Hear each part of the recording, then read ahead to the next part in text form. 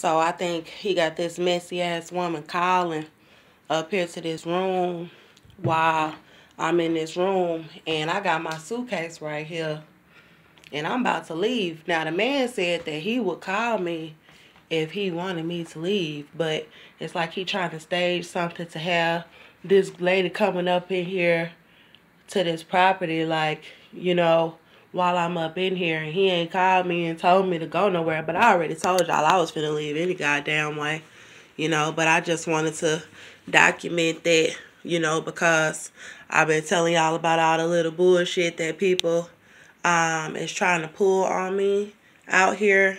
Um, and I got my damn suitcase and everything, but I'm finna go. I'm finna go. I just wanted to document it because like people keep trying to put me in little desperate situations and then these men and women is trying to pull all this little fuck shit around me and it's really pissing me the fuck off.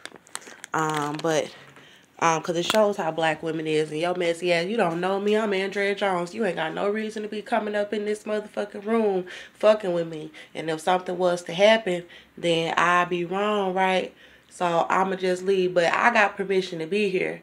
So if the bitch walked through the motherfucking door because she done went down there and talked her way in get the motherfucking key, that's some setup shit. Y'all gotta be all in the fucking wrong. And look at me. Come on, it's pretty obvious why these hoes trying to do what they doing. But I'm finna go. I'm not finna play the game with these folks.